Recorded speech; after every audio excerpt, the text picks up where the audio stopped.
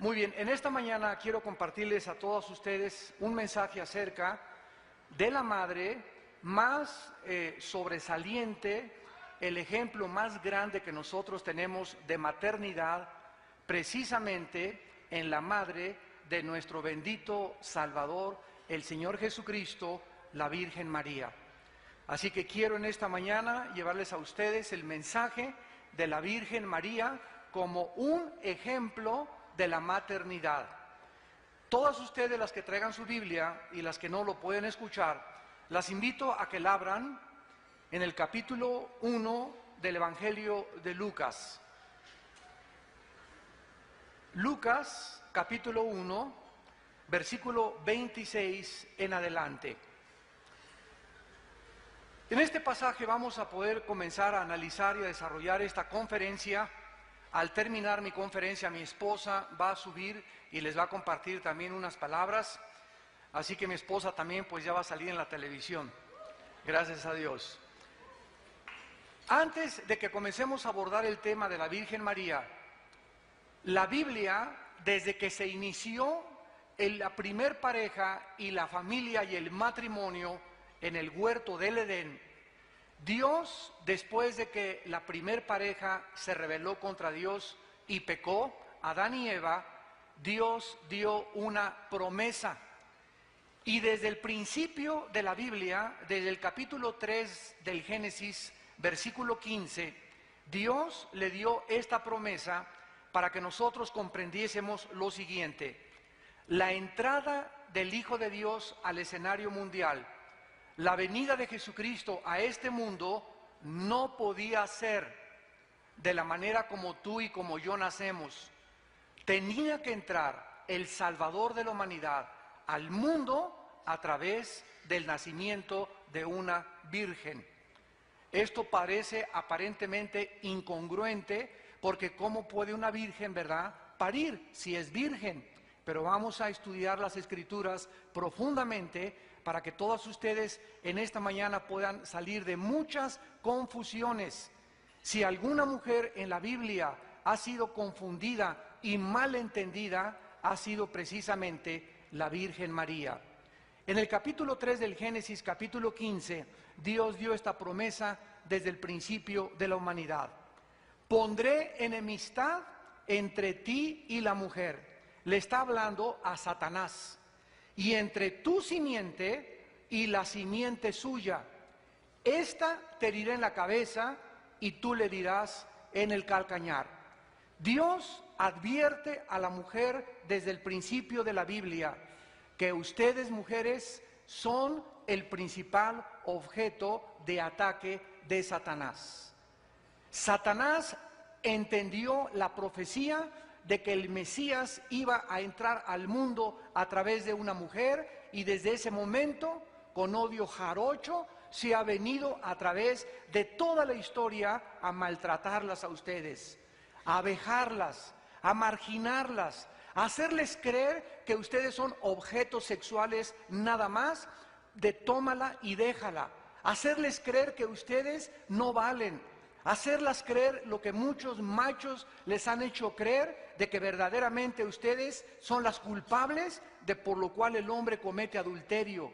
Vemos nosotros a través de la historia, sobre todo en los últimos años, en el régimen de Afganistán, de los talibanes, cómo las mujeres las, las, vestían de arriba hacia abajo, las ponían en medio como una plaza de toros y enfrente de miles de personas las golpeaban con palos porque las habían encontrado trabajando porque las habían encontrado que se descubrieron el rostro. En Irán, en Irán a las mujeres con navajas Gillette les cortan la boca cuando salen o se descubren la cara.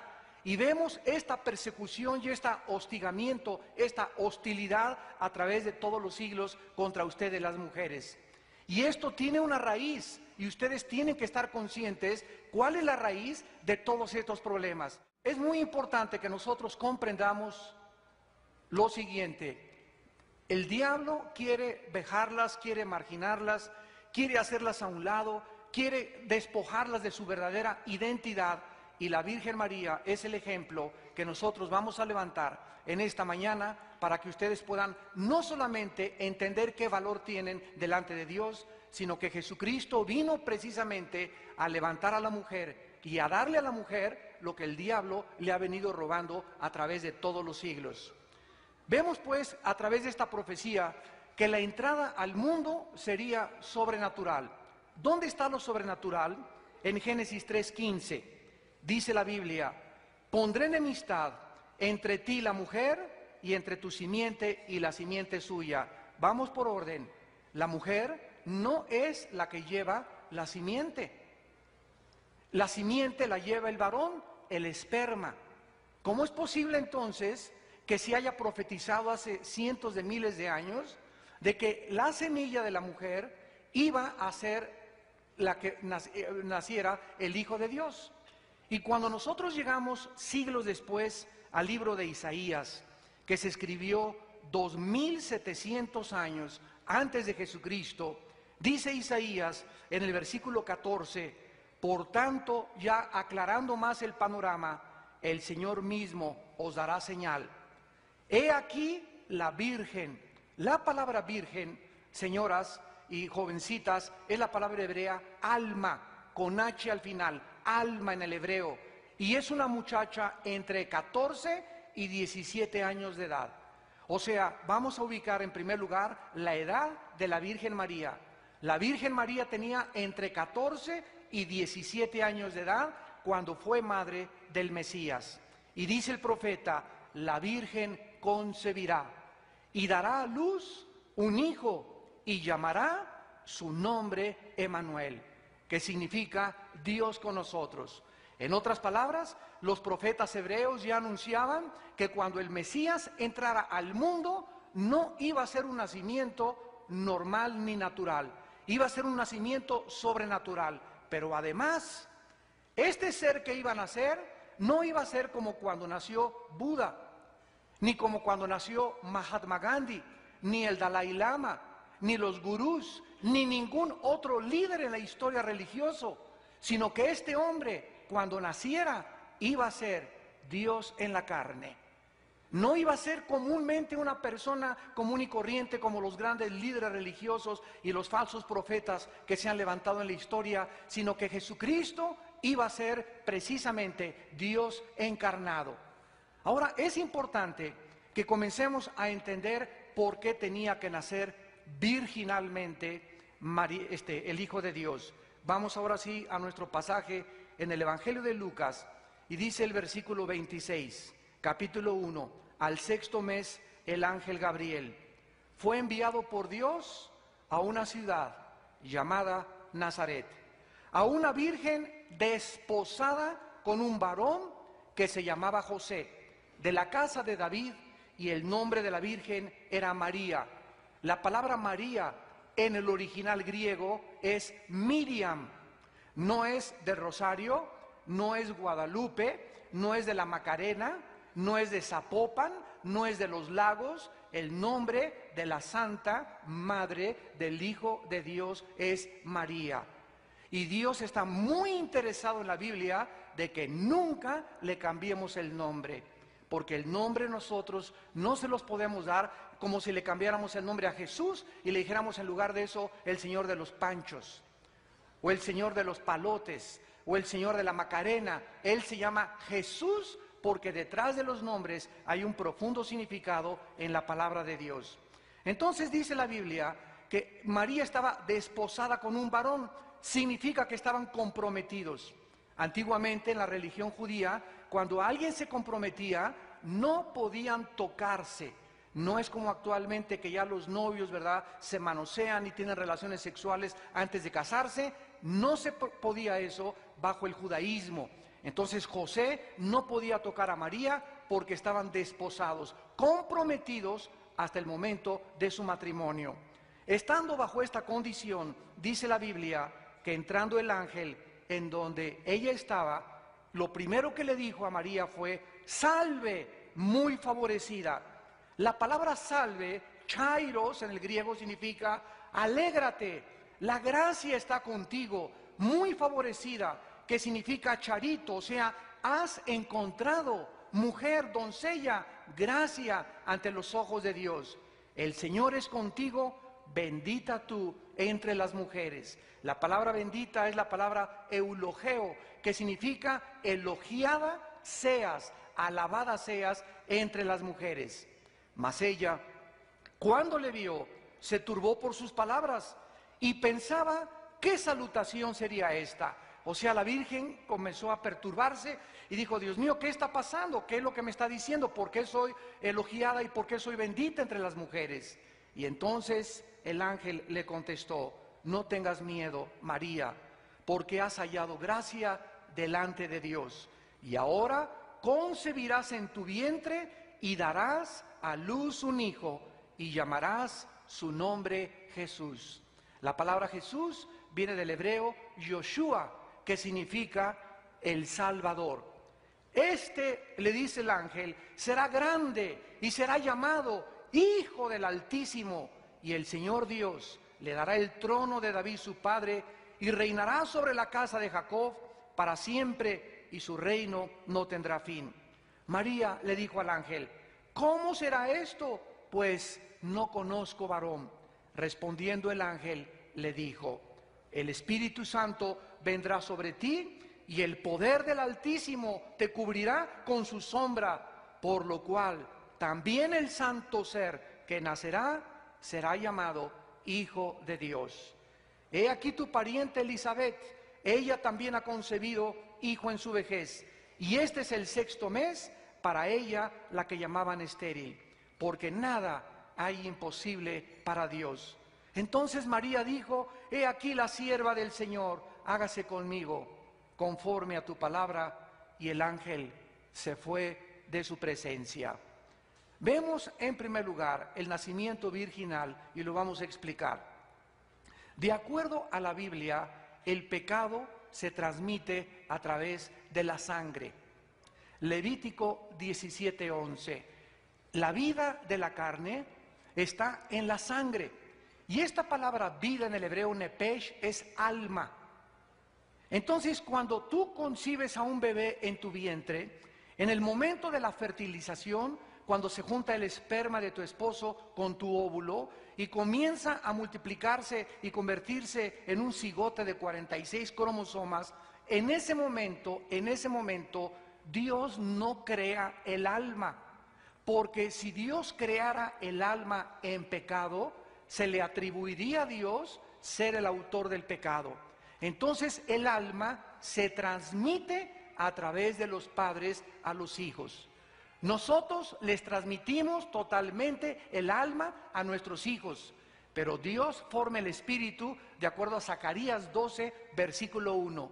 Entonces el alma la transmitimos los humanos y el espíritu lo forma Dios dentro del ser humano.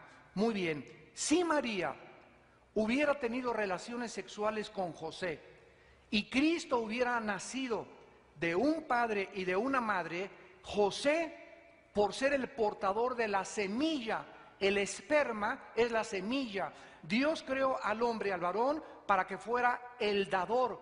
Y Dios crea a la mujer para que ella sea la que recibe. Uno envía y la otra recibe. La mujer recibe la semilla, el esperma, la simiente del varón y engendra dentro de su vientre a ese ser humano. Entonces, si José hubiera tenido relaciones con María, le hubiera transmitido el pecado a través de su esperma. Y la sangre de Jesucristo no podía estar contaminada por sangre humana, porque hubiera sido un ser como tú y como yo, nacido en pecado. Y cuando muriera en la cruz del Calvario, Él no podría pagar por nuestros pecados, porque si Él hubiera nacido en pecado, hubiera tenido primero que pagar por sus propios pecados y después por los pecados de nosotros. Pero la Biblia nos da un panorama totalmente diferente en el libro de los Hebreos, versículo 26. Dice la Biblia acerca de Cristo, porque tal sumo sacerdote nos convenía, santo, inocente, sin mancha, apartado de los pecadores y hecho más sublime que los cielos. Entonces, esta es la razón para que nosotros entendamos por qué Jesucristo nació de una virgen sin la intervención del varón ni del esperma masculino. Dicen Romanos capítulo 5, versículo 12, así como el pecado entró, dice la Biblia, al mundo por un hombre, el pecado no entró por la mujer. Fuimos nosotros los varones, los culpables, los responsables del pecado. Y ahora el hombre trata de culpar a la mujer y echarle toda, toda, eh, toda, toda la ansiedad y todo el estrés para que la mujer se sienta realmente que ella es la víctima.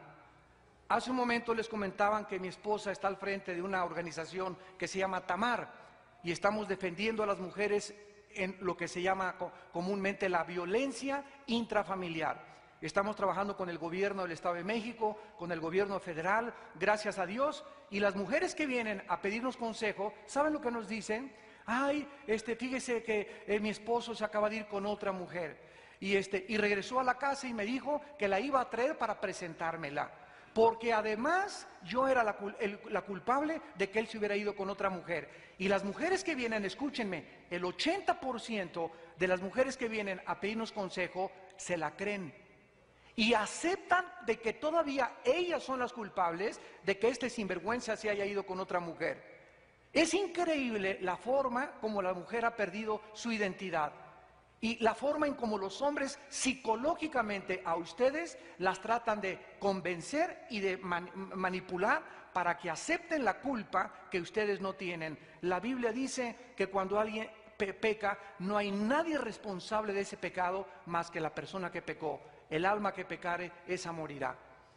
Así que esa, esa, esa eh, filosofía de Freud, de Sigmund Freud, de que vamos a examinar a la niña, es que su mamá era prostituta. El pobre niño es homosexual porque nunca tuvo una imagen paterna. El, señor que el, niño que mató allá en Monterrey a, los niñitos es que su mamá era astróloga y era bruja y, y, se metió en muchos problemas y andaba quién sabe con cuántos fulanos. Y este pobre muchacho de 18 años atentó contra los niños y mató a su novia. Y tratamos de buscar a través de las circunstancias y del medio ambiente la culpa que llevamos delante de Dios.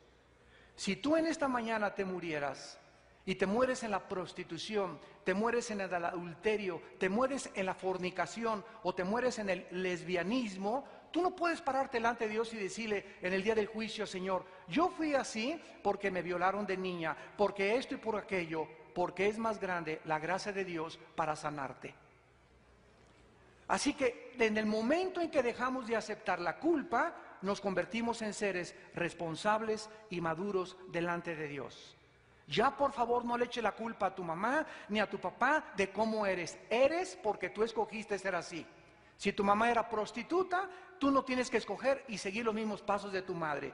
Si tu papá le decían el mocho orejas y le decían el secuestrador y el violador, tú no tienes por qué seguir los pasos de tu papá. Si te violaron, hay perdón y sanidad en la sangre de Jesucristo.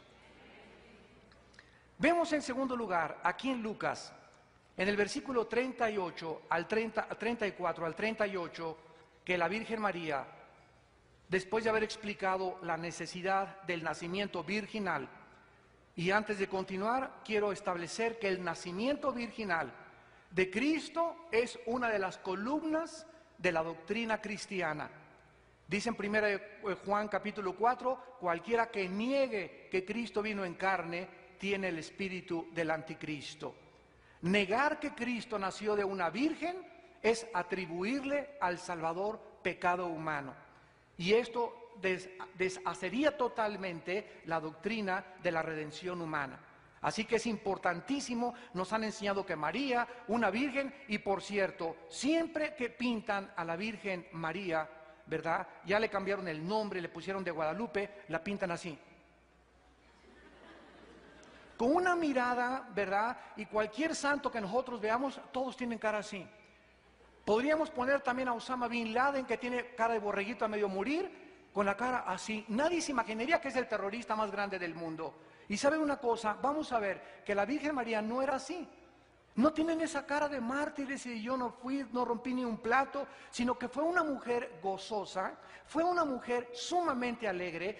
En la cruz una espada atravesó su corazón al ver a su hijo crucificado, pero cuando pasó el tiempo y resucitó su hijo, ella dice la Biblia, le misma comenzó a recobrar ese gozo, a convertirse en esa mujer y en esos hombres que Dios quiere que seamos. La Biblia dice, gozaos, gozaos, gozaos en el Señor. Esa cara que tienes ya de ballena, esa cara que tienes ya, ¿verdad? Eh, de toda ah, de amargura y, y de tristeza y de rencor y de odio en tu vida, por lo que tú has sufrido, ya tú no puedes con esa actitud convertirte en una mujer de conquista y en una mujer victoriosa. Tienes que cambiar tu actitud, tienes que reírle a la vida, tienes que saber que si, Jesucristo está dentro de tu vida, tu vida puede ser transformada radicalmente desde esta mañana. Dice en el versículo 34 al 38, en primer lugar tenemos el ejemplo de la sumisión de María. María le dijo al ángel, ¿cómo será esto? No conozco varón.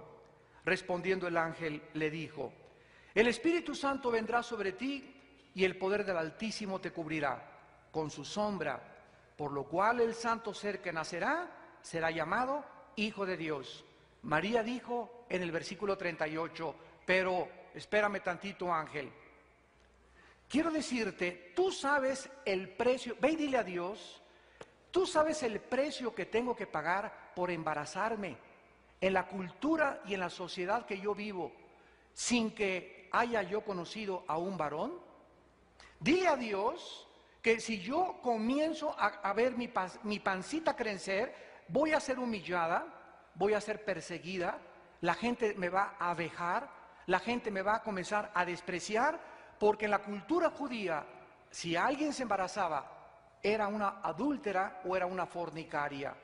Entonces vemos nosotros que María se enfrentaba al decirle a Dios, hágase conmigo según tu voluntad, no le importó las humillaciones, no le importó andar ahí por la colonia Roma con su pancita, no le importó que sus familiares le dijeran con quién se metió. Mira nada más esta muchacha es una vulgar de la calle. Ella estaba arriesgando toda su reputación al aceptar la voluntad de Dios. Dice la Biblia que María se enfrentaba en aquellos tiempos, ¿verdad?, a que inclusive la mataran a pedradas. Pero María estaba arriesgando al aceptar la voluntad de Dios la humillación de un embarazo ante la sociedad, la burla y la persecución. Damas que me escuchan en esta mañana, ¿aceptarías tú ser cristiana?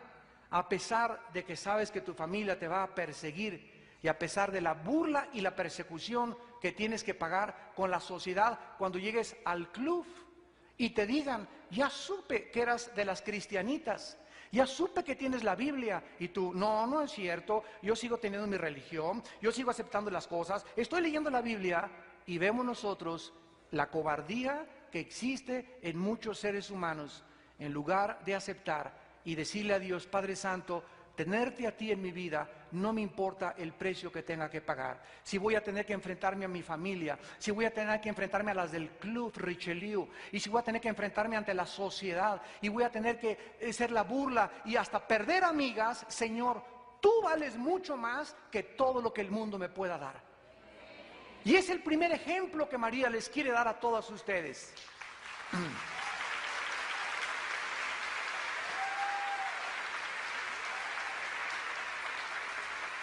¿Eres tú una mujer rendida a la voluntad de Dios a pesar de las consecuencias de seguir a Jesús?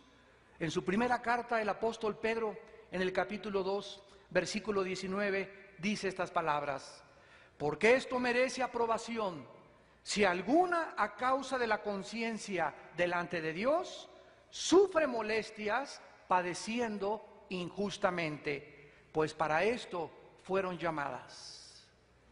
Cristo no nos viene a predicar un evangelio fácil y barato de ven a mí y vas a ser feliz, nunca te vas a enfermar, vas a ser próspera, vas a ser rica. Esto es un evangelio fácil y barato. Cristo reclutó a la gente y le dijo, el que no cargue su cruz y no se niegue a sí mismo, no me puede seguir. Cristo nos enseña que vamos a sufrir con Él.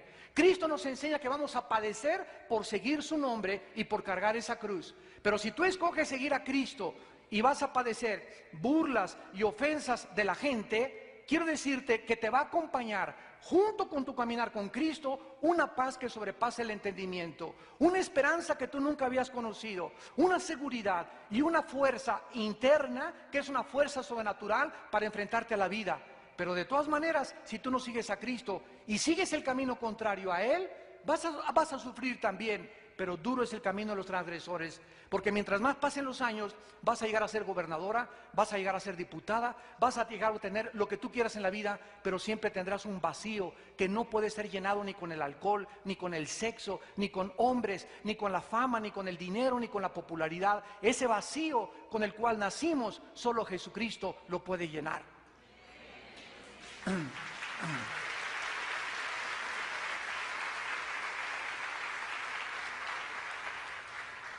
En segundo lugar, dice el versículo 46 de Lucas capítulo 1, que María no solamente es un ejemplo de sumisión, de rendirnos ante la voluntad de Dios y no importa el precio que, tengamos que pagar.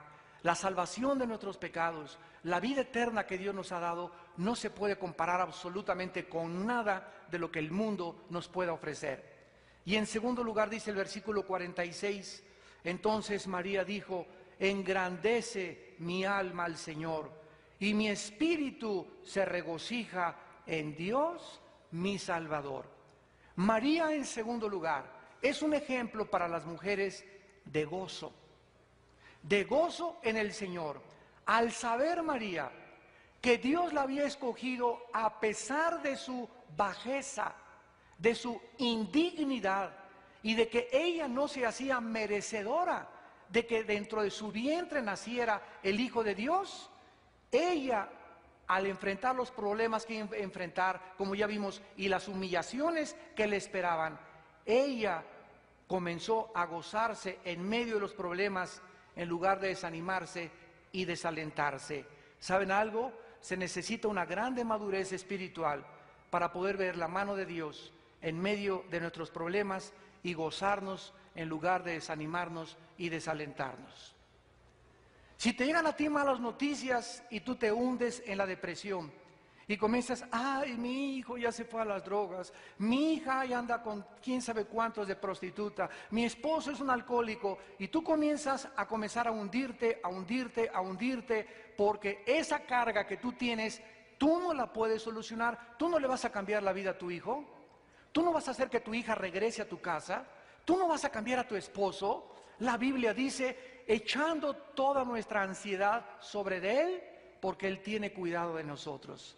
Cuando tú crees en Dios y confías en Dios, dice la Biblia en Santiago capítulo 1, tengan por sumo gozo cuando se hallen en diversas pruebas, porque está siendo probada vuestra fe. Para que sometida a prueba vuestra fe, mucho más precioso que el oro, sea hallada en alabanza y gloria cuando Jesucristo regrese. Entonces, cuando nosotros comprendemos que no podemos cambiar la vida de nuestros hijos, ni de nuestro esposo, ni de mi jefe mi trabajo, ¿qué hacemos? Nos vamos a hundir en la depresión, en el desaliento, de ninguna manera. Caemos de rodillas. Y tenemos un Dios que nos dice, nada es imposible para mí. Padre Santo, ahí está mi hijo. Tú sabes en dónde anda. Yo aquí a las 3 de la mañana fumándome dos cajas de cigarros y echándome un alcohol de vez en cuando, o con tres Valiums o con cuatro ecuaniles, voy a agravar mi situación y me voy a enfermar yo. Y tal vez cuando regrese mi hijo, hasta convertido, ahora yo soy la que estoy en el hospital. Entonces nosotros tenemos que ser conscientes y maduros de saber, Padre, ahí está mi hijo, lo pongo en tus manos. Te he hecho esta carga que yo no puedo llevar a ti. Mi esposo, tú le, tú le vas a cambiar la cara de caimán que tiene. Ahí te va mi esposo. Mi hijo, ¿verdad? Eh, está ahorita en problemas, se brincó las trancas, se fue de la casa, Padre Santo. Yo con mis desvelos y con mis lloros no lo voy a hacer regresar. Padre Santo, te lo encargo a ti. A mí dame tu paz. Yo quiero tener tu paz, Señor. Yo quiero descansar, Señor. Yo quiero seguir en la vida haciendo tu voluntad. No puede haber nada en la vida, un problema lo suficientemente grande para que nos estorbe y aborte la misión que Dios tiene para ustedes en este mundo, mujeres. Que no haya nada absolutamente que detenga y obstaculice tu caminar con Jesucristo. ¿Por qué? Porque Él nos promete que aun cuando nuestros hijos se brinquen las trancas, los va a traer de la oreja, créanmelo. Porque la Biblia dice, tu simiente será bendita. Y dice en Isaías 49, yo pelearé el pleito por tus hijos. Tenemos la victoria en Jesucristo.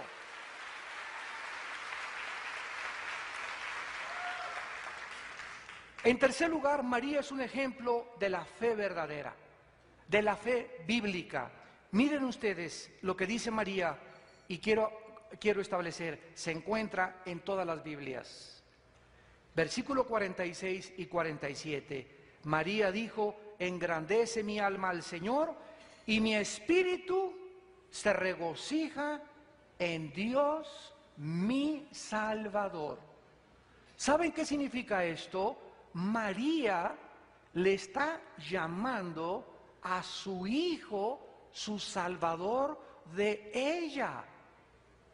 ¿Qué significa esto? Que María le cree a Dios y reconoce que lo que dice en su palabra es verdad.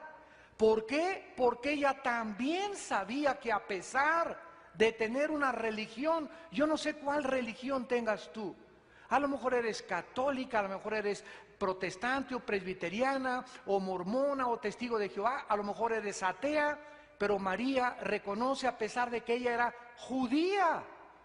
Y como lo vimos, era una mujer piadosa, a pesar de su religión, necesitaba un Salvador. Y esta es una de las revelaciones más maravillosas de la palabra de Dios. ¿Por qué? Porque dice la Biblia en Romanos 3:23, por cuanto todos pecamos y todos fuimos alejados de la gloria de Dios.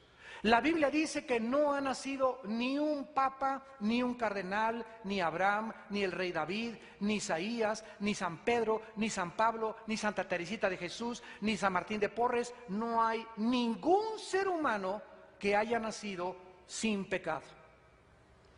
Porque ya lo vimos, el pecado nos fue transmitido y es una herencia que hemos recibido los seres humanos, por lo cual nos comportamos como nos comportamos. El único ser humano, de acuerdo a la Biblia, que ha nacido sin pecado por no haber heredado el esperma, ya lo vimos, de su papá, ha sido Jesucristo, el Hijo de Dios. Dios puso el cromosoma en el vientre de María. Dios puso el esperma en el vientre de María y Jesucristo nació sin pecado, por lo cual es el único Salvador porque no hay otro nombre dado a los hombres debajo del cielo en que podamos ser salvos más que en el nombre de Jesucristo.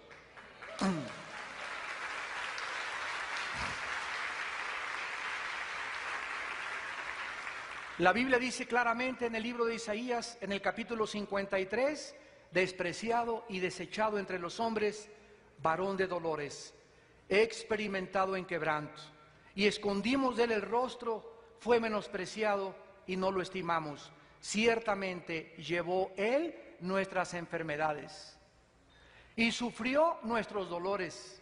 Y nosotros le tuvimos por azotado, por herido de Dios y abatido. Mas Él herido fue por nuestras rebeliones, molido por nuestros pecados. El castigo de nuestra paz fue sobre Él y por su llaga fuimos nosotros curados. Por causa, queridas señoras, de que tú no podías pagar por tus pecados, ni yéndote al ángel de la independencia desde aquí rodillas, cinco kilómetros ida y vuelta, por causa de que mis buenas obras jamás me iban a poder salvar nunca, porque somos pecadores, la Biblia nos dice que Cristo bajó del cielo para que Él en la cruz llevara en su cuerpo tus pecados y mis pecados. Y Dios nos manda que creamos lo que Él ha hecho en nuestro lugar en una cruz. Esto es lo que se llama la fe verdadera y no la fe del carbonero. Como me decía una señora, bueno, eh, yo creo lo que mi religión me enseñó. ¿Qué le, ¿Qué le enseñó su religión, señora? Pues que me tengo que portar bien para ir al cielo. Y quiero decirle, ¿cuándo va a saber usted cuántas obras buenas ha hecho para morir en paz y saber que se va al cielo? El mensaje de la Biblia es diferente. Por gracia somos salvos por medio de la fe. No por obras para que nadie se gloríe. Dios hace todo en la cruz. Dios permite que su hijo sea desfigurado. ¿Se acuerdan la la película la pasión? ¿Cuál fue el impacto de esta película a nivel mundial? Que es la primera película de Jesucristo, donde se le retrata y donde se le describe hecho un guiñapo humano colgado de la cruz. Sin embargo, se queda corta la película como realmente Cristo se encontraba en esa cruz. ¿Sabían ustedes que los látigos romanos eran látigos? En la película sale que le pegan solamente en la espalda con un látigo chiquito, corto, y solamente le hace esto. Pero los látigos romanos eran aproximadamente como de dos metros de largo, con puntas de plomo y puntas de hueso, y se enrollaban en el vientre y en la espalda de la víctima tres o cuatro veces. Y la tortura era que al jalar el látigo, el verdugo comenzaba a arrastrar los tejidos subcutáneos de enfrente y de atrás de la espalda por los huesos y los plomos de las puntas del látigo. O sea que cuando Cristo dejó de ser azotado, no tenía absolutamente nada aquí enfrente ni nada de espalda. Era un guiñapo bañado en sangre. Y cuando es colgado en la cruz, era verdaderamente un monstruo. Y Dios permite que a su Hijo lo hagan un monstruo en la cruz. ¿Y saben ustedes por qué? Porque esto es lo que el pecado hace con nosotros. El pecado nos deforma. El pecado nos hace monstruos delante de Dios. El pecado nos desfigura. No es normal para una persona vivir en pecado. Dios quiere que nosotros seamos santos en toda nuestra manera de vivir. Y Dios nos ha aportado y nos ha dado un legado en su Hijo para que Él en la cruz llevó nuestros pecados y llevó tus pecados. Y tú lo que tienes que hacer en esta mañana es, Señor, creo que tú pagaste por ellos en la cruz. Yo no puedo pagar por mis pecados ni puedo cambiar mi vida. Yo te acepto como mi Salvador en mi corazón. La Virgen María es un ejemplo de esta fe. A pesar de su religión, reconoció que necesitaba un Salvador. Qué increíble revelación de la Biblia en la primera carta de Juan, capítulo 5, versículo 10. Termino con estas palabras. El que cree en el Hijo de Dios tiene el testimonio de sí mismo. El que no cree a Dios, a Dios le ha hecho mentiroso, porque no ha creído en el testimonio que Dios ha dado acerca de su Hijo. Y este es el testimonio que Dios nos ha dado, vida eterna y esta vida está en su Hijo. El que tiene al Hijo tiene la vida y el que no tiene al Hijo de Dios no tiene la vida. Nos damos cuenta que tú puedes tener una religión sin tener a Jesucristo. Te pueden haber bautizado y creces en una religión solamente de la boca para afuera. Te persinas en el nombre del Padre, Jesucristo, mi dulce compañía, el domingo de 11 a 12 y de lunes a viernes te portas como la esposa de Acaf, como Jezabel. O te portas, ves, eh, eres adúltera, eres esto, pero e, eso sí, perteneces a una religión. Y la Biblia dice, este pueblo de labios me honra, pero su corazón está lejos de mí. Y Dios quiere que tú tengas una auténtica revelación en tu corazón para que tú puedas aceptar hoy por la fe la salvación que aceptó la misma Madre del Salvador. Y finalmente, es algo muy importante de resumir. Número uno, la Biblia nos manda no adorar a la Virgen. En el libro de los Hechos, capítulo 10, versículo 24 al 26, Hechos capítulo 10, 24 al 26, dice la Biblia que los apóstoles entraron en Cesarea. Y Cornelio los estaba esperando, habiendo convocado a sus parientes y amigos más íntimos. Cuando Pedro entró, salió Cornelio a recibirle, postrándose y poniéndose rodillas delante de los apóstoles. Y Pedro, Pedro se levanta y le dice, levántate, yo también soy hombre, adora a Dios. Los mismos apóstoles, está en todas las Biblias, los apóstoles nunca permitieron que ningún hombre se encara delante de ellos, porque el único digno de nuestra adoración, el único digno de nuestra alabanza, el único digno de la honra, a Él sea la gloria por los siglos de los siglos, se llama Jesucristo.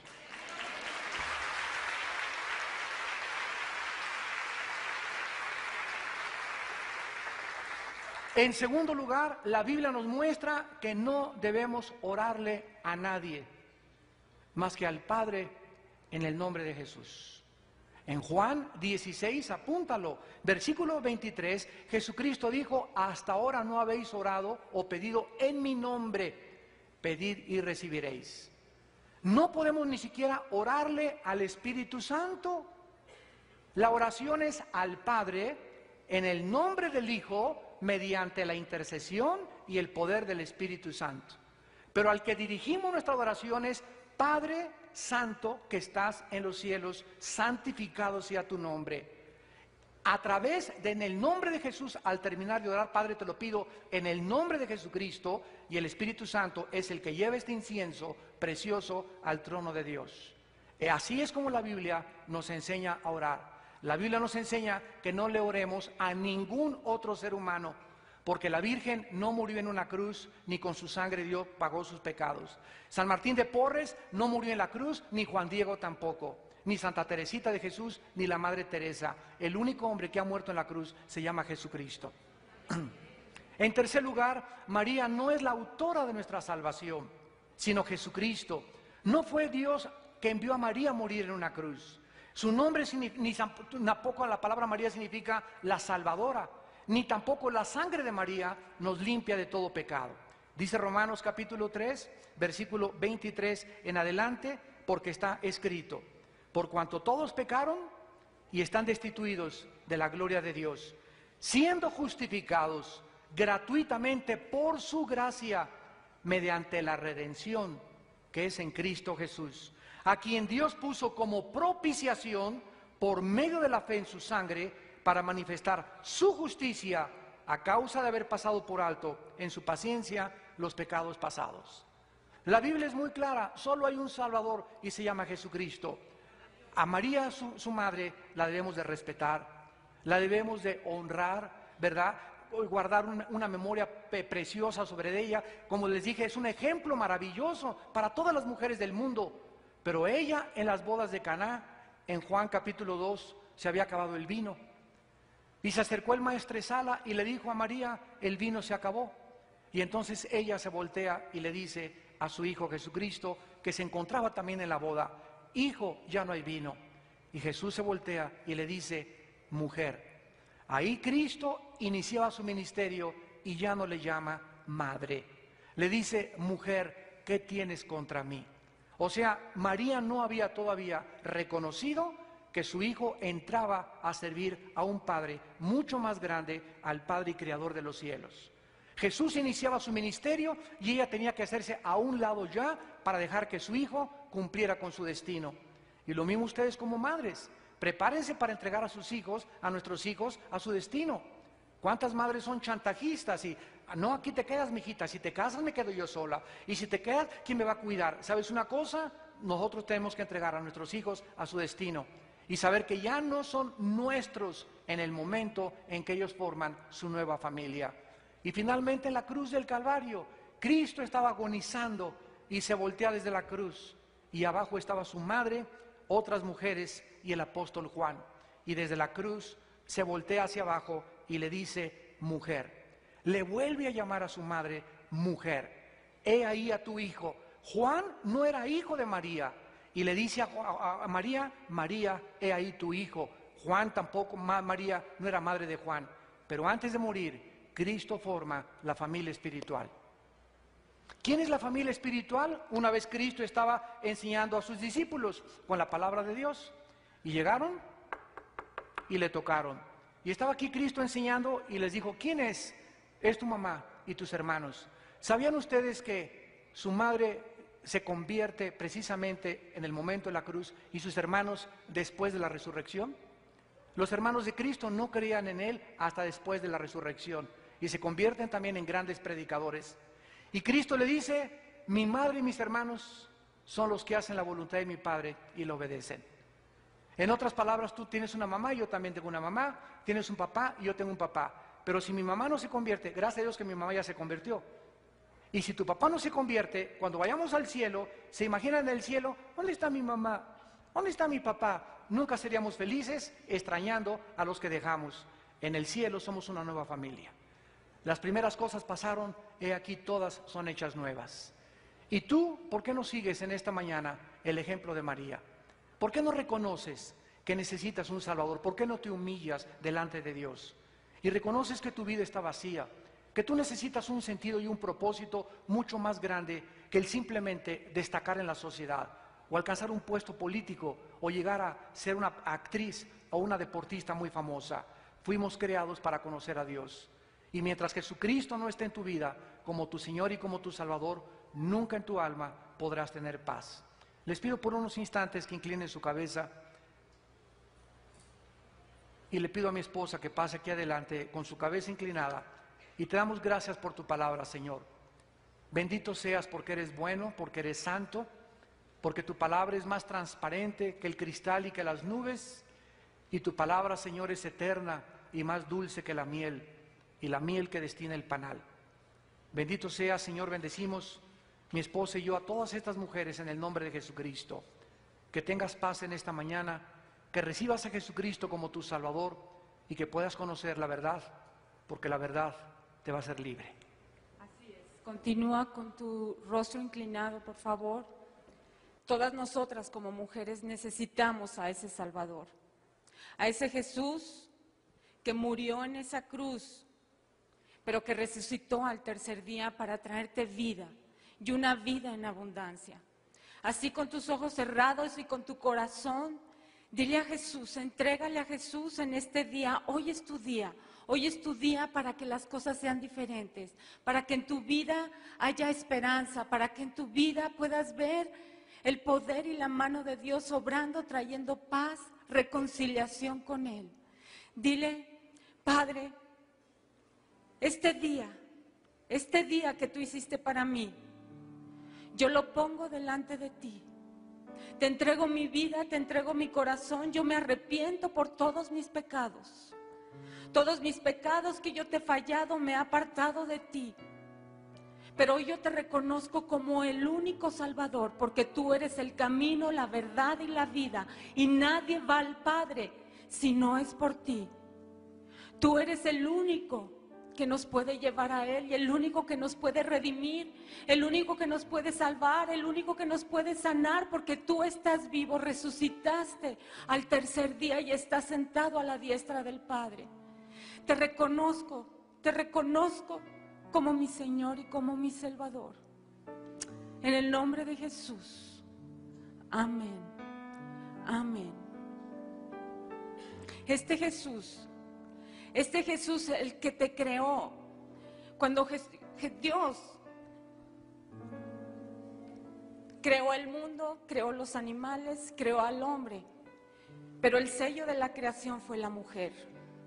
Fue la mujer y en este libro, en la Biblia, en la palabra de Dios, Jesús, el Redentor, el Salvador, siempre, siempre, siempre vamos a encontrar en los labios de Dios, Dios dignificando a la mujer, Dios dándole el valor a la mujer como hija, como madre, como esposa, como amiga, como hermana. Solamente Él es el único que te puede dar ese valor, porque Él te creó y tú fuiste el sello de esa creación y lo que Dios crea tiene un propósito y tiene un diseño. Y tu vida, déjame decirte mujer, que tiene un propósito. Tiene un propósito, así como lo tuvo en la vida de María, también lo tiene en tu vida. Y Dios sigue obrando milagros. Y a lo mejor tú estás cargada, estás afligida, estás con mucha angustia, con mucho dolor, con muchas heridas. Déjame decirte que el Cristo resucitado es el único que tiene el poder para sanarte. El Cristo vivo es el único que tiene el poder para levantarte y traer esperanza a tu vida. Y para decirte, mujer, ánimo, mujer, levántate, yo estoy contigo, no estás sola. Para decirte, mujer, ¿sabes qué?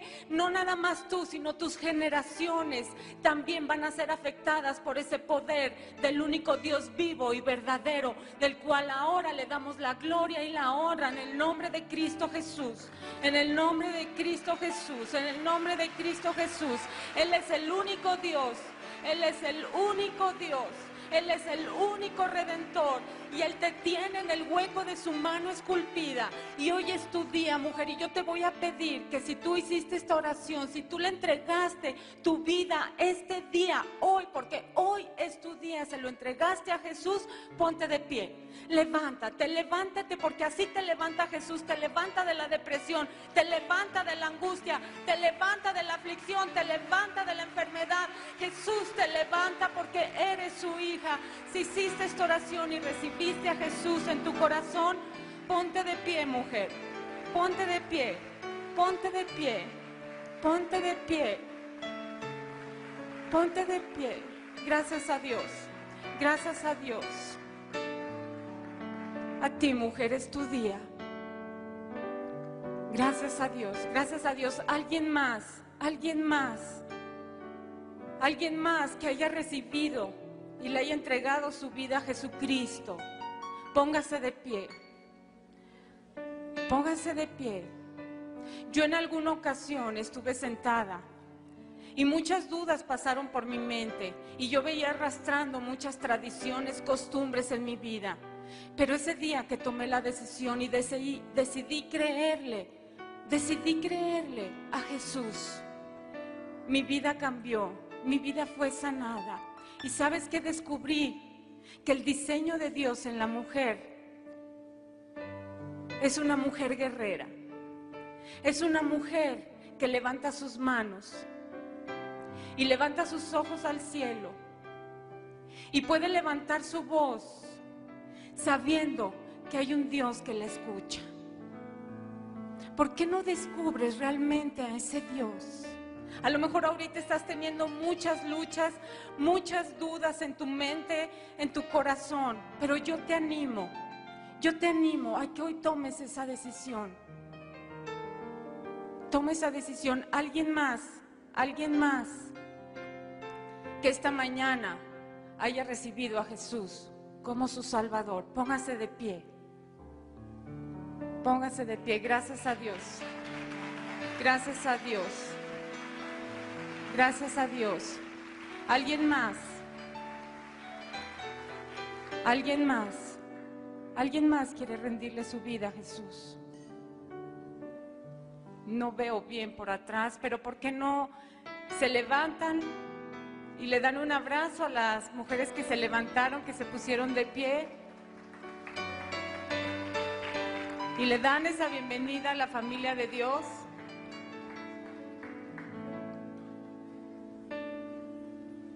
Vamos a darles un aplauso fuerte de veras porque se necesita ser valiente, se necesita ser valiente para tomar una decisión así. A estas mujeres y a todas las demás mujeres que están sentadas queremos bendecirlas en el nombre de Jesús. Queremos bendecir sus vidas. Que el Señor prospere todos sus caminos, que la mano de Dios vaya hacia adelante en sus vidas.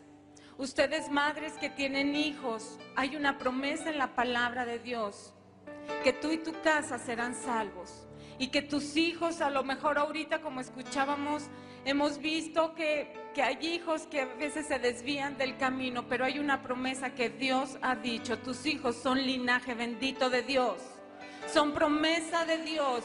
Y una guerrera, una mujer guerrera, esa mujer cuando se levanta con el poder de Dios, pelea por sus hijos, no se da por vencida, no se agüita, no se amarga, no se desanima, no se, no se desalienta, sino confía en ese Dios vivo y verdadero. Dios las bendiga. Ni a tu papá de cómo eres. Eres porque tú escogiste ser así. Si tu mamá era prostituta, tú no tienes que escoger y seguir los mismos pasos de tu madre. Si tu papá le decían el mocho orejas y le decían el secuestrador y el violador, tú no tienes por qué seguir los pasos de tu papá. Si te violaron, hay perdón y sanidad en la sangre de Jesucristo.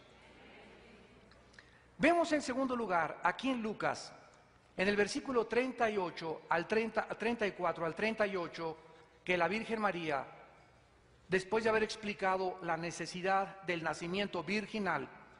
Y antes de continuar, quiero establecer que el nacimiento virginal de Cristo es una de las columnas de la doctrina cristiana. Dice en 1 Juan capítulo 4, cualquiera que niegue que Cristo vino en carne, tiene el espíritu del anticristo. Negar que Cristo nació de una virgen es atribuirle al Salvador pecado humano. Y esto deshacería totalmente la doctrina de la redención humana. Así que es importantísimo, nos han enseñado que María, una virgen, y por cierto, siempre que pintan a la Virgen María, ¿verdad? Ya le cambiaron el nombre, le pusieron de Guadalupe, la pintan así. Con una mirada, ¿verdad? Y cualquier santo que nosotros veamos, todos tienen cara así. Podríamos poner también a Osama Bin Laden, que tiene cara de borreguito a medio morir, con la cara así. Nadie se imaginaría que es el terrorista más grande del mundo. Y saben una cosa, vamos a ver que la Virgen María no era así. No tienen esa cara de mártires y yo no fui, no rompí ni un plato, sino que fue una mujer gozosa, fue una mujer sumamente alegre. En la cruz una espada atravesó su corazón al ver a su hijo crucificado, pero cuando pasó el tiempo y resucitó su hijo, ella dice la Biblia, le misma comenzó a recobrar ese gozo, a convertirse en esa mujer y en esos hombres que Dios quiere que seamos. La Biblia dice, gozaos, gozaos, gozaos en el Señor. Esa cara que tienes ya de ballena, esa cara que tienes ya, ¿verdad? Eh, de toda ah, de amargura y, y de tristeza y de rencor y de odio en tu vida, por lo que tú has sufrido, ya tú no puedes con esa actitud convertirte en una mujer de conquista y en una mujer victoriosa. Tienes que cambiar tu actitud, tienes que reírle a la vida, tienes que saber que si, Jesucristo está dentro de tu vida, tu vida puede ser transformada radicalmente desde esta mañana. Dice en el versículo 34 al 38, en primer lugar tenemos el ejemplo de la sumisión de María. María le dijo al ángel, ¿cómo será esto? No conozco varón. Respondiendo el ángel le dijo, el Espíritu Santo vendrá sobre ti y el poder del Altísimo te cubrirá con su sombra, por lo cual el santo ser que nacerá será llamado Hijo de Dios. María dijo en el versículo 38, pero espérame tantito ángel. Quiero decirte, tú sabes el precio, ve y dile a Dios, tú sabes el precio que tengo que pagar por embarazarme en la cultura y en la sociedad que yo vivo, sin que haya yo conocido a un varón? Dile a Dios que si yo comienzo a, ver mi, mi pancita crecer, voy a ser humillada, voy a ser perseguida, la gente me va a abejar, la gente me va a comenzar a despreciar, porque en la cultura judía, si alguien se embarazaba, era una adúltera o era una fornicaria. Entonces vemos nosotros que María se enfrentaba al decirle a Dios, hágase conmigo según tu voluntad, no le importó las humillaciones, no le importó andar ahí por la colonia Roma con su pancita, no le importó que sus familiares le dijeran con quién se metió. Mira nada más esta muchacha es una vulgar de la calle. Ella estaba arriesgando toda su reputación al aceptar la voluntad de Dios. Dice la Biblia que María se enfrentaba en aquellos tiempos, ¿verdad? A que inclusive la mataran a pedradas. Pero María estaba arriesgando al aceptar la voluntad de Dios la humillación de un embarazo ante la sociedad, la burla y la persecución.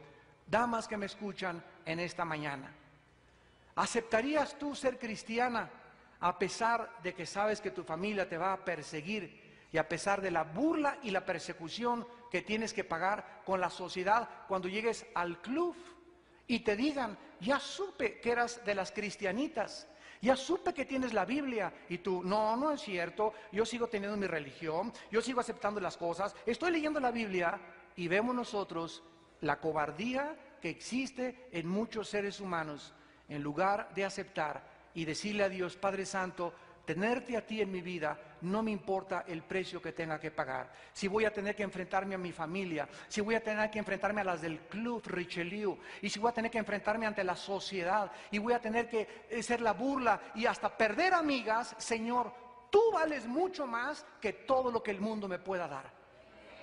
Y es el primer ejemplo que María les quiere dar a todas ustedes.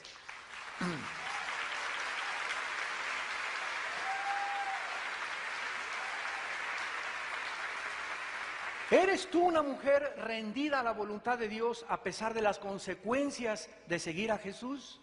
En su primera carta, el apóstol Pedro, en el capítulo 2, versículo 19, dice estas palabras, porque esto merece aprobación, si alguna a causa de la conciencia delante de Dios sufre molestias padeciendo injustamente, pues para esto fueron llamadas.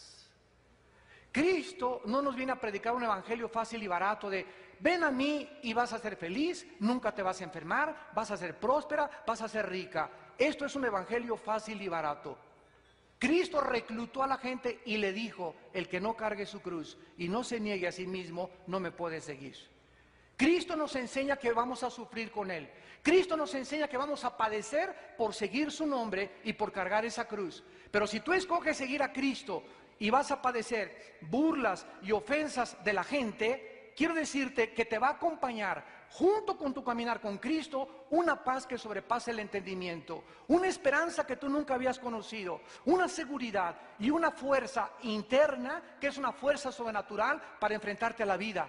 Pero de todas maneras, si tú no sigues a Cristo y sigues el camino contrario a Él, vas a, vas a sufrir también pero duro es el camino de los transgresores, porque mientras más pasen los años, vas a llegar a ser gobernadora, vas a llegar a ser diputada, vas a llegar a tener lo que tú quieras en la vida, pero siempre tendrás un vacío que no puede ser llenado ni con el alcohol, ni con el sexo, ni con hombres, ni con la fama, ni con el dinero, ni con la popularidad. Ese vacío con el cual nacimos, solo Jesucristo lo puede llenar.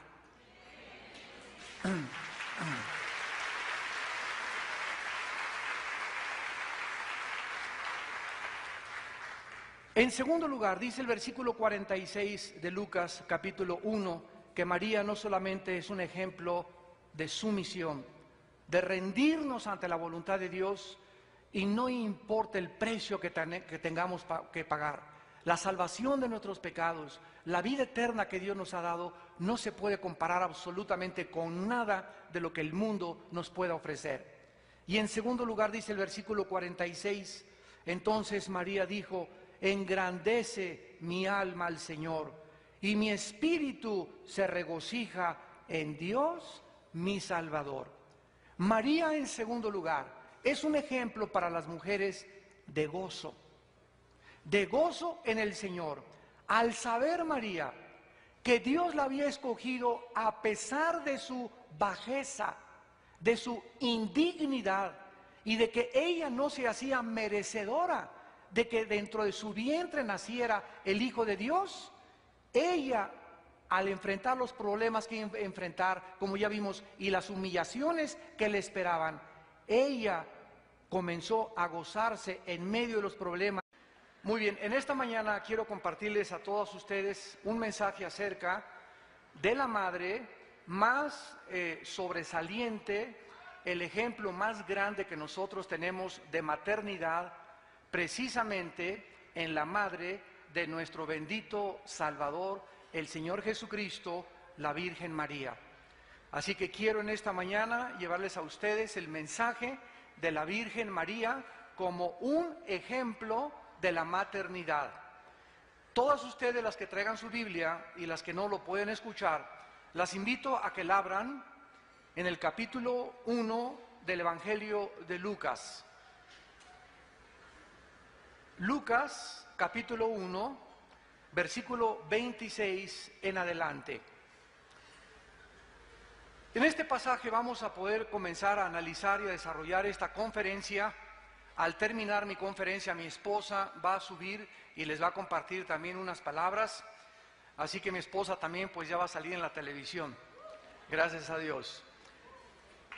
Antes de que comencemos a abordar el tema de la Virgen María, la Biblia, desde que se inició en la primer pareja y la familia y el matrimonio en el huerto del Edén, Dios, después de que la primer pareja se rebeló contra Dios y pecó, Adán y Eva, Dios dio una promesa. Y desde el principio de la Biblia, desde el capítulo 3 del Génesis, versículo 15, Dios le dio esta promesa para que nosotros comprendiésemos lo siguiente. La entrada del Hijo de Dios al escenario mundial, la venida de Jesucristo a este mundo no podía ser de la manera como tú y como yo nacemos. Tenía que entrar el Salvador de la humanidad al mundo a través del nacimiento de una virgen. Esto parece aparentemente incongruente porque ¿cómo puede una virgen, verdad, parir si es virgen? pero vamos a estudiar las escrituras profundamente para que todos ustedes en esta mañana puedan salir de muchas confusiones. Si alguna mujer en la Biblia ha sido confundida y malentendida, ha sido precisamente la Virgen María. En el capítulo 3 del Génesis, capítulo 15, Dios dio esta promesa desde el principio de la humanidad. Pondré enemistad entre ti y la mujer. Le está hablando a Satanás. Y entre tu simiente y la simiente suya. Esta te herirá en la cabeza y tú le dirás en el calcañar. Dios advierte a la mujer desde el principio de la Biblia que ustedes mujeres son el principal objeto de ataque de Satanás. Satanás entendió la profecía de que el Mesías iba a entrar al mundo a través de una mujer y desde ese momento, con odio jarocho, se ha venido a través de toda la historia a maltratarlas a ustedes, a vejarlas, a marginarlas, a hacerles creer que ustedes son objetos sexuales nada más, de tómala y déjala, hacerles creer que ustedes no valen, hacerlas creer lo que muchos machos les han hecho creer, de que verdaderamente ustedes son las culpables de por lo cual el hombre comete adulterio.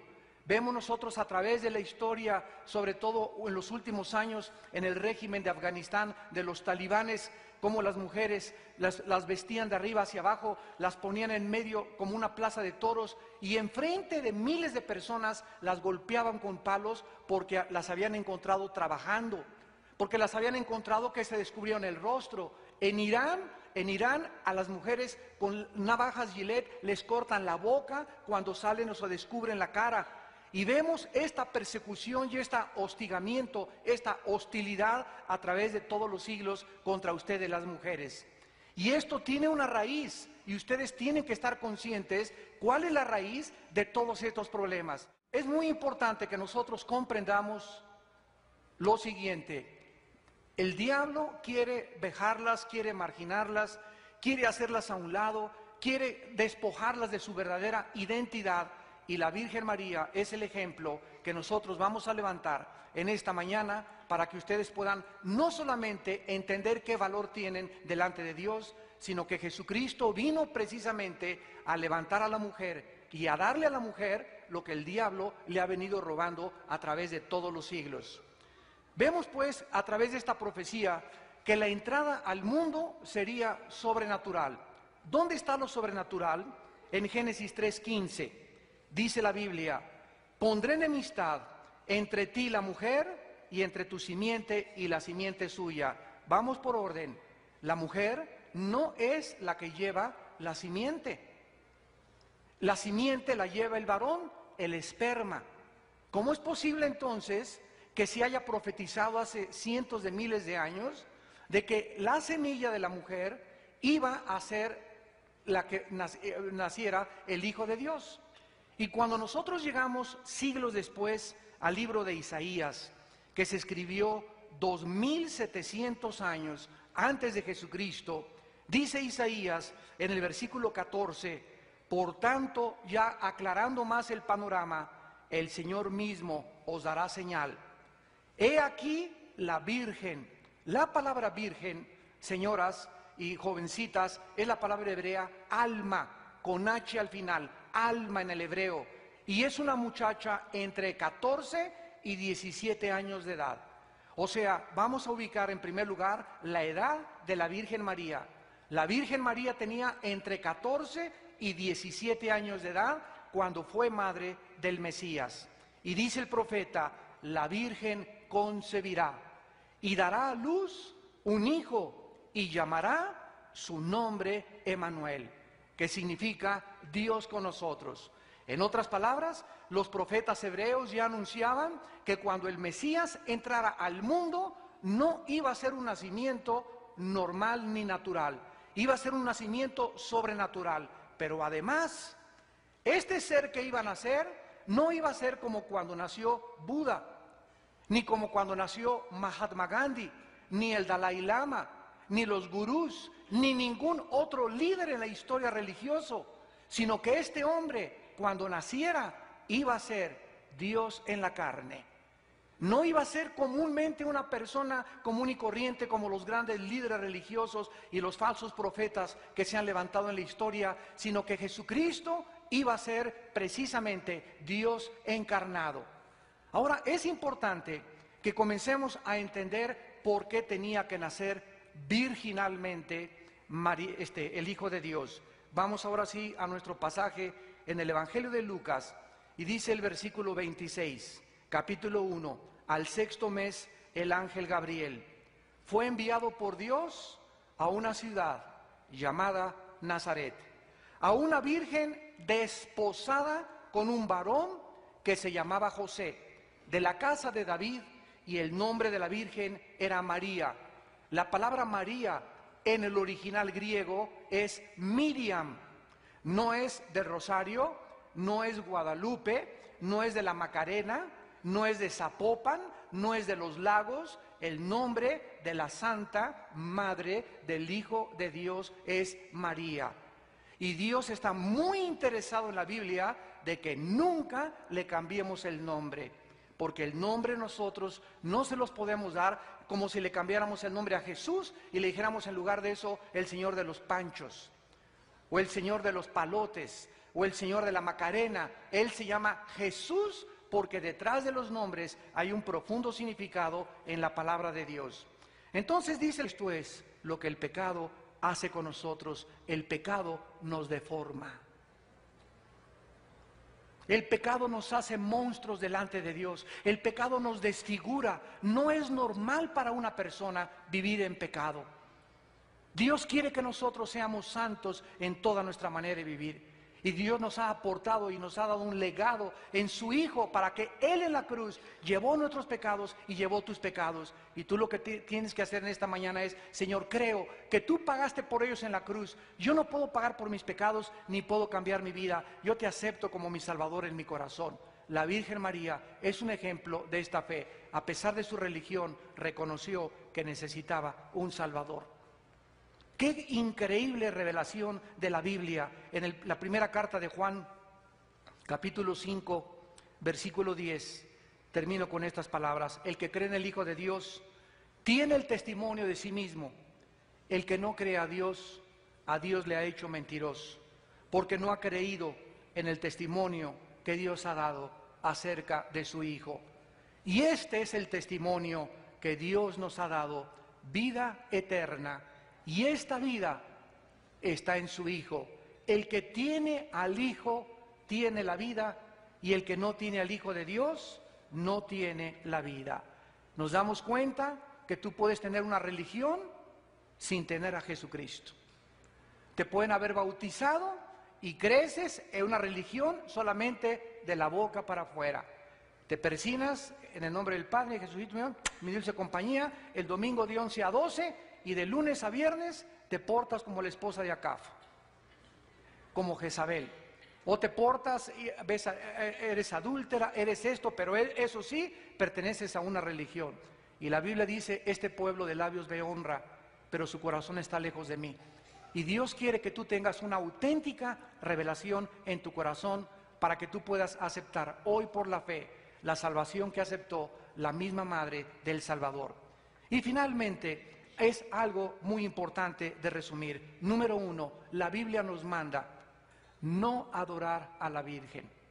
En el libro de los Hechos, capítulo 10, versículo 24 al 26, Hechos capítulo 10, 24 al 26, dice la Biblia que los apóstoles entraron en Cesarea. Y Cornelio los estaba esperando, habiendo convocado a sus parientes y amigos más íntimos. Cuando Pedro entró, salió Cornelio a recibirle, postrándose y poniéndose rodillas delante de los apóstoles. Y Pedro, Pedro se levanta y le dice, levántate, yo también soy hombre, adora a Dios.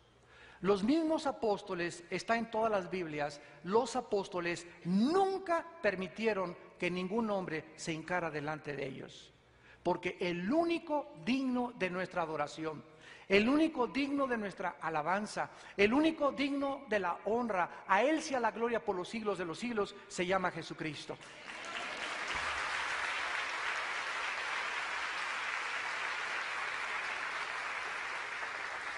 En segundo lugar, la Biblia nos muestra que no debemos orarle a nadie más que al Padre en el nombre de Jesús. En Juan 16, apúntalo, versículo 23, Jesucristo dijo, hasta ahora no habéis orado o pedido en mi nombre, pedid y recibiréis. No podemos ni siquiera orarle al Espíritu Santo.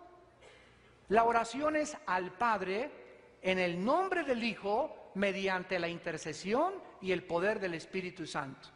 Pero al que dirigimos nuestra oración es Padre Santo que estás en los cielos, santificado sea tu nombre.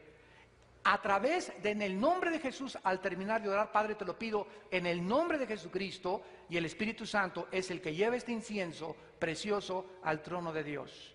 Y así es como la Biblia nos enseña a orar. La Biblia nos enseña que no le oremos a ningún otro ser humano, porque la Virgen no murió en una cruz, ni con su sangre Dios pagó sus pecados. San Martín de Porres no murió en la cruz, ni Juan Diego tampoco, ni Santa Teresita de Jesús, ni la Madre Teresa. El único hombre que ha muerto en la cruz se llama Jesucristo. En tercer lugar, María no es la autora de nuestra salvación, sino Jesucristo. No fue Dios que envió a María a morir en una cruz. Su nombre ni tampoco la palabra María significa la salvadora, ni tampoco la sangre de María nos limpia de todo pecado.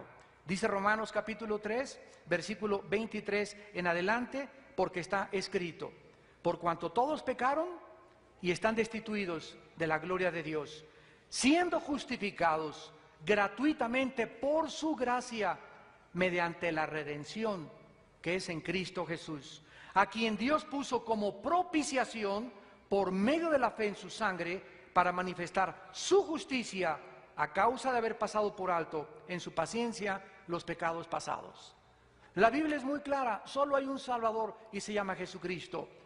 A María, su, madre, la debemos de respetar, la debemos de honrar, ¿verdad?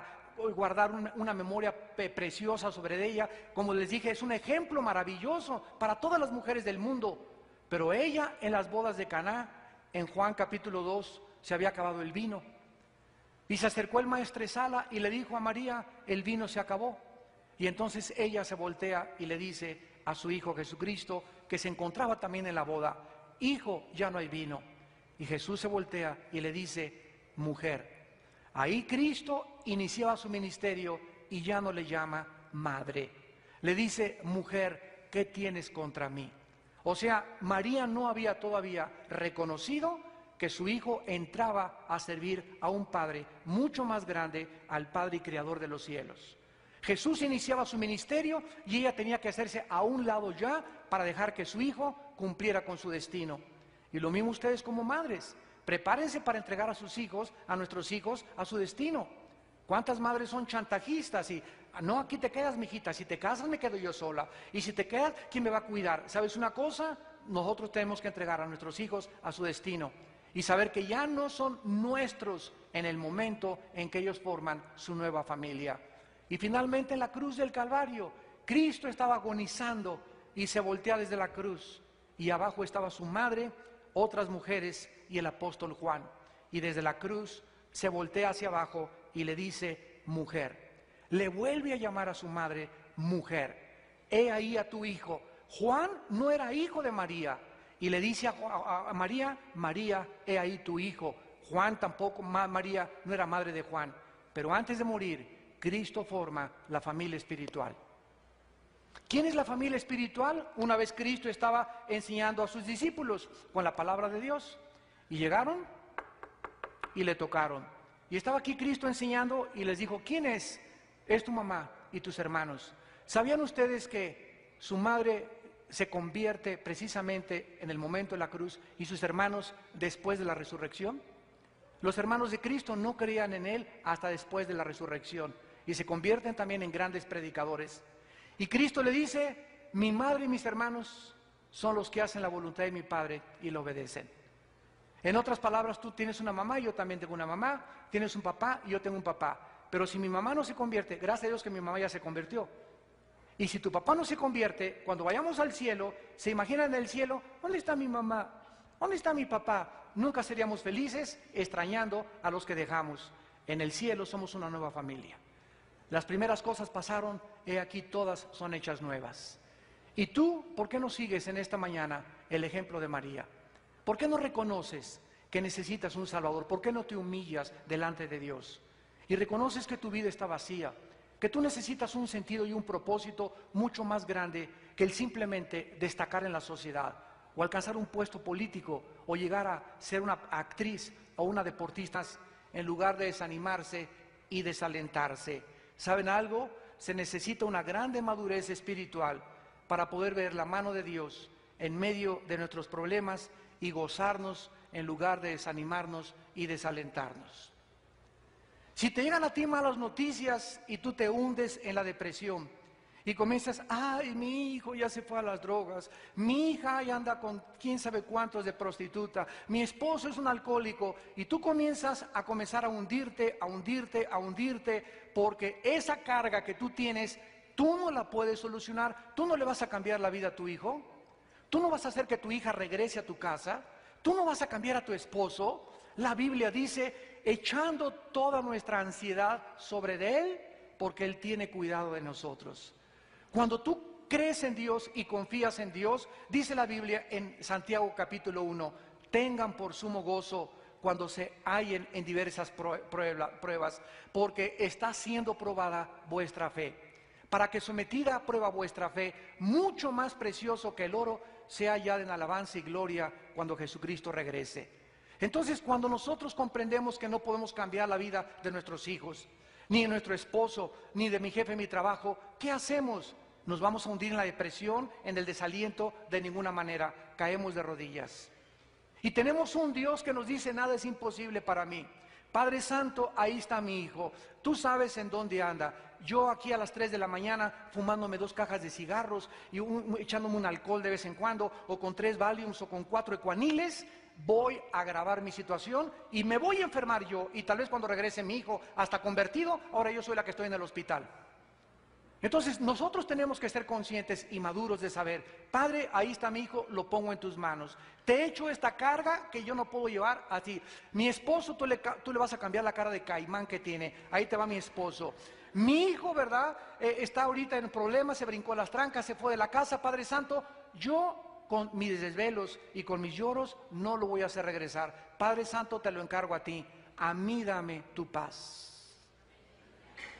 Yo quiero tener tu paz, Señor. Yo quiero descansar, Señor. Yo quiero seguir en la vida haciendo tu voluntad. No puede haber nada en la vida, un problema lo suficientemente grande para que nos estorbe y aborte la misión que Dios tiene para ustedes en este mundo, mujeres. Que no haya nada absolutamente que detenga y obstaculice tu caminar con Jesucristo. ¿Por qué? Porque Él nos promete que aun cuando nuestros hijos se brinquen las trancas, los va a traer de la oreja, créanmelo. Porque la Biblia dice, tu simiente será bendita. Y dice en Isaías 49, yo pelearé el pleito por tus hijos. Tenemos la victoria en Jesucristo.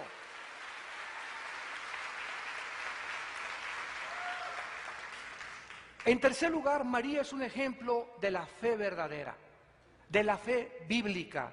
Miren ustedes lo que dice María y quiero, quiero establecer, se encuentra en todas las Biblias. Versículo 46 y 47. María dijo, engrandece mi alma al Señor y mi espíritu se regocija en Dios mi Salvador. ¿Saben qué significa esto? María le está llamando a su hijo, su salvador de ella. ¿Qué significa esto? Que María le cree a Dios y reconoce que lo que dice en su palabra es verdad. ¿Por qué? Porque ella también sabía que a pesar de tener una religión, yo no sé cuál religión tengas tú, a lo mejor eres católica, a lo mejor eres protestante o presbiteriana o mormona o testigo de Jehová, a lo mejor eres atea, pero María reconoce a pesar de que ella era judía. Y como lo vimos, era una mujer piadosa, a pesar de su religión, necesitaba un Salvador. Y esta es una de las revelaciones más maravillosas de la palabra de Dios. ¿Por qué? Porque dice la Biblia en Romanos 3:23, por cuanto todos pecamos y todos fuimos alejados de la gloria de Dios. La Biblia dice que no ha nacido ni un papa, ni un cardenal, ni Abraham, ni el rey David, ni Isaías, ni San Pedro, ni San Pablo, ni Santa Teresita de Jesús, ni San Martín de Porres. No hay ningún ser humano que haya nacido sin pecado. Porque ya lo vimos, el pecado nos fue transmitido y es una herencia que hemos recibido los seres humanos, por lo cual nos comportamos como nos comportamos. El único ser humano, de acuerdo a la Biblia, que ha nacido sin pecado por no haber heredado el esperma, ya lo vimos, de su papá, ha sido Jesucristo, el Hijo de Dios. Dios puso el cromosoma en el vientre de María. Dios puso el esperma en el vientre de María y Jesucristo nació sin pecado, por lo cual es el único Salvador, porque no hay otro nombre dado a los hombres debajo del cielo en que podamos ser salvos más que en el nombre de Jesucristo.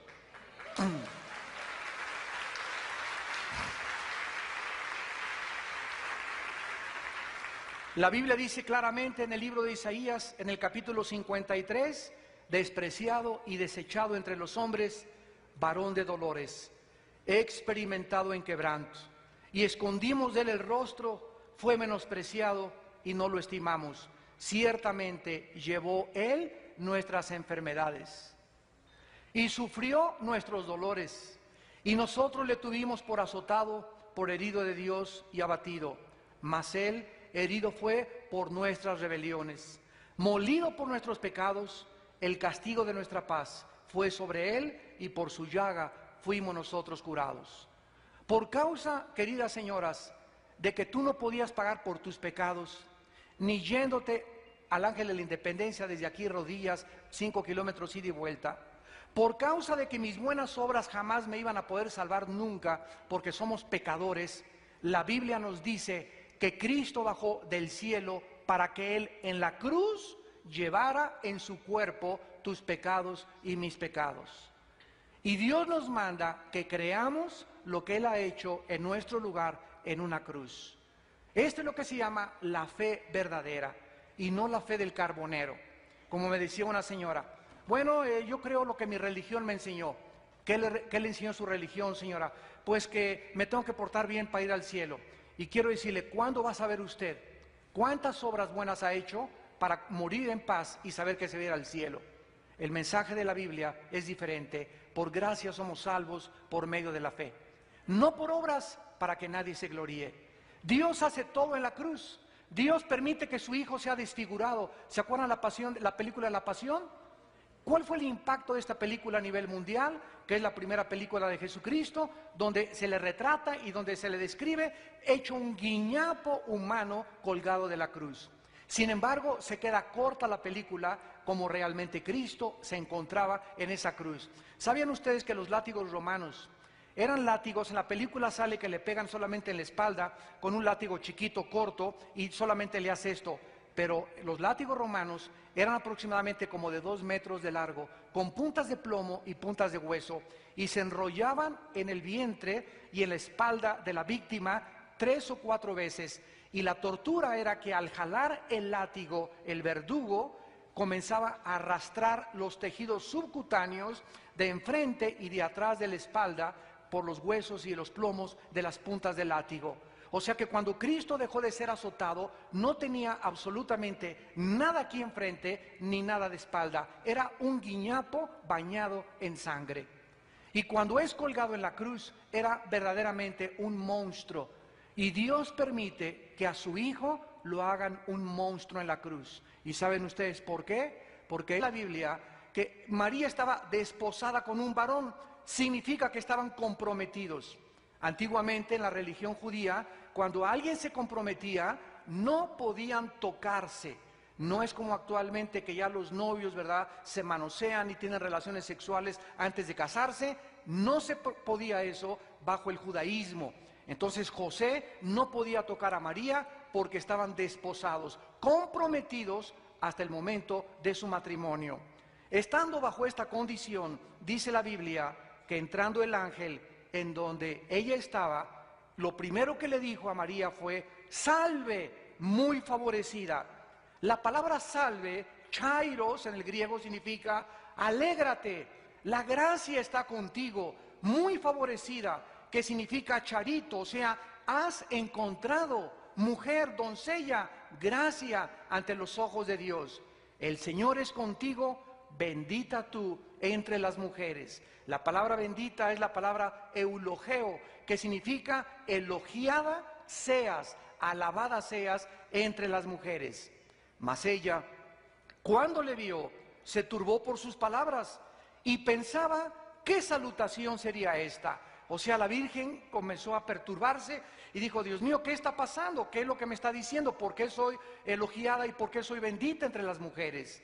Y entonces el ángel le contestó, no tengas miedo, María, porque has hallado gracia delante de Dios.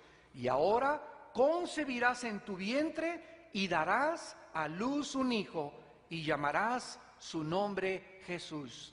La palabra Jesús viene del hebreo Yoshua, que significa el Salvador.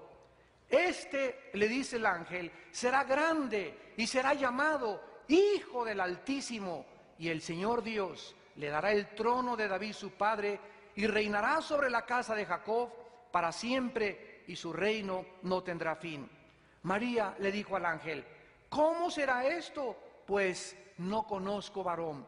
Respondiendo el ángel, le dijo, el Espíritu Santo vendrá sobre ti y el poder del Altísimo te cubrirá con su sombra, por lo cual también el santo ser que nacerá será llamado Hijo de Dios.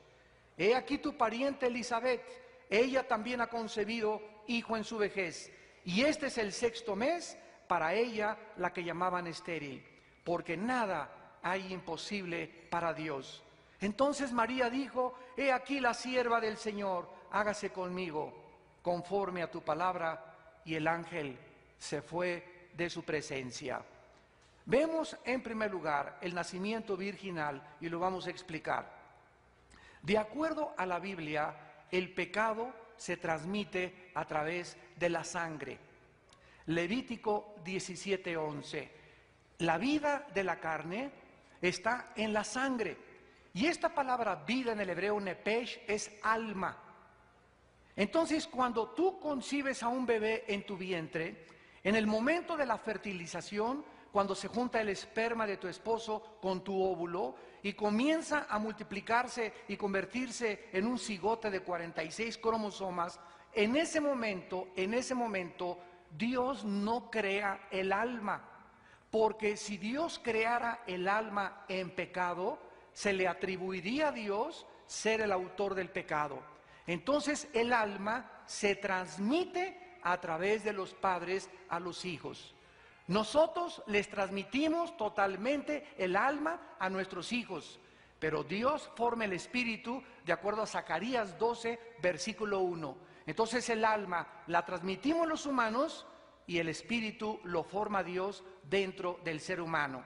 Muy bien, si María hubiera tenido relaciones sexuales con José y Cristo hubiera nacido de un padre y de una madre, José, por ser el portador de la semilla, el esperma es la semilla. Dios creó al hombre, al varón, para que fuera el dador. Y Dios crea a la mujer para que ella sea la que recibe. Uno envía y la otra recibe. La mujer recibe la semilla, el esperma, la simiente del varón y engendra dentro de su vientre a ese ser humano. Entonces, si José hubiera tenido relaciones con María, le hubiera transmitido el pecado a través de su esperma. Y la sangre de Jesucristo no podía estar contaminada por sangre humana, porque hubiera sido un ser como tú y como yo, nacido en pecado. Y cuando muriera en la cruz del Calvario, Él no podría pagar por nuestros pecados, porque si Él hubiera nacido en pecado, hubiera tenido primero que pagar por sus propios pecados y después por los pecados de nosotros. Pero la Biblia nos da un panorama totalmente diferente en el libro de los Hebreos, versículo 26.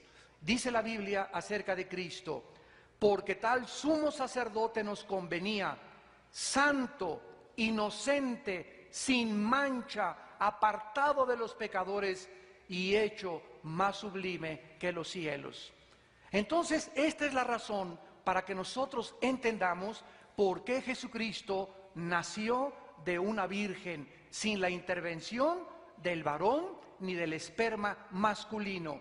Dicen Romanos capítulo 5, versículo 12, así como el pecado entró, dice la Biblia, al mundo por un hombre, el pecado no entró por la mujer. Fuimos nosotros los varones, los culpables, los responsables del pecado. Y ahora el hombre trata de culpar a la mujer y echarle toda, toda, eh, toda, toda la ansiedad y todo el estrés para que la mujer se sienta realmente que ella es la víctima. Hace un momento les comentaban que mi esposa está al frente de una organización que se llama Tamar y estamos defendiendo a las mujeres en lo que se llama comúnmente la violencia intrafamiliar. Estamos trabajando con el gobierno del Estado de México, con el gobierno federal, gracias a Dios. Y las mujeres que vienen a pedirnos consejo, ¿saben lo que nos dicen? Ay, este, fíjese que eh, mi esposo se acaba de ir con otra mujer. Y, este, y regresó a la casa y me dijo que la iba a traer para presentármela porque además yo era la, la, culpable de que él se hubiera ido con otra mujer. Y las mujeres que vienen, escúchenme, el 80% de las mujeres que vienen a pedirnos consejo se la creen. Y aceptan de que todavía ellas son las culpables de que este sinvergüenza se haya ido con otra mujer. Es increíble la forma como la mujer ha perdido su identidad y la forma en como los hombres psicológicamente a ustedes las tratan de convencer y de manipular para que acepten la culpa que ustedes no tienen. La Biblia dice que cuando alguien peca, no hay nadie responsable de ese pecado más que la persona que pecó. El alma que pecare, esa morirá. Así que esa, eh, filosofía de Freud, de Sigmund Freud, de que vamos a examinar a la niña, es que su mamá era prostituta. El pobre niño es homosexual porque nunca tuvo una imagen paterna. El, señor que el, niño que mató allá en Monterrey a, los niñitos es que su mamá era astróloga y era bruja y, y se metió en muchos problemas y andaba quién sabe con cuántos fulanos. Y este pobre muchacho de 18 años atentó contra los niños y mató a su novia. Y tratamos de buscar a través de las circunstancias y del medio ambiente la culpa que llevamos delante de Dios. Si tú en esta mañana te murieras y te mueres en la prostitución, te mueres en el adulterio, te mueres en la fornicación o te mueres en el lesbianismo, tú no puedes pararte delante de Dios y decirle en el día del juicio, Señor, yo fui así porque me violaron de niña, porque esto y por aquello, porque es más grande la gracia de Dios para sanarte. Así que en el momento en que dejamos de aceptar la culpa, nos convertimos en seres responsables y maduros delante de Dios. Ya por favor no le eche la culpa a tu mamá,